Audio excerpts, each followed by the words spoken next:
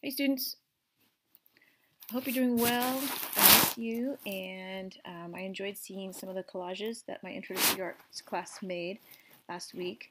Uh, this week for your art project, I want you to um, make a self-portrait and I want you to really focus on um, your emotions for the self-portrait. So for the self-portrait, I'm going to give you the option of drawing it, painting it, collaging it. Um, for my ceramic students, if you have that homemade Play-Doh that I um, put the recipe for last week, and um, if Introductory Art students are interested in making it, the uh, recipe is on my website, my YouTube channel.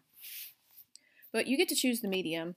Um, it can also be something that, let's say you want to take a photo on your um, phone and use some kind of computer website or even the phone itself to edit it and um, add and subtract and really alter some things.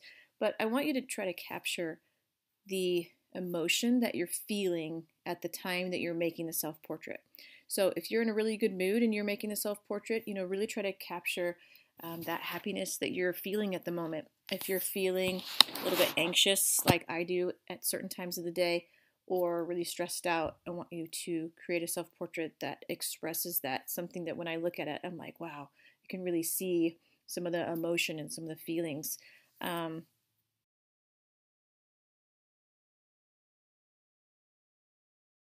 I'm like super happy.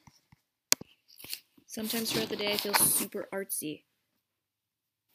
Sometimes I feel like I'm surrounded by darkness.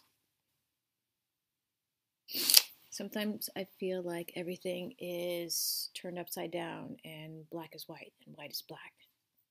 Sometimes I have tunnel vision and all I can think about is how am I going to get toilet paper and things like that.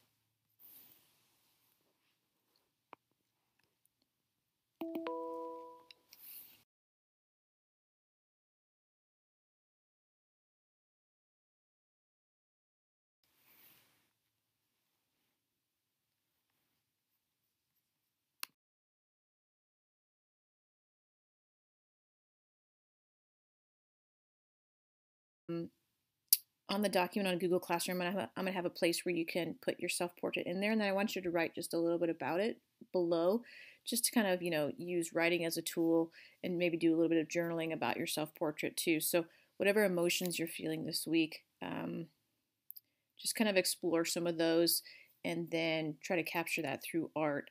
Um, think about the color schemes and the use of color that we talked about in Intro to Studio Art as well. Um, so that is this week's um, assignment, and I look forward to seeing your work. And like I said, if you need anything, just email me any time of the day, and I'll get back to you um, within 24 hours. And um, just let me know any needs that you have, any questions, and I will be happy to help whatever way I can. Take care.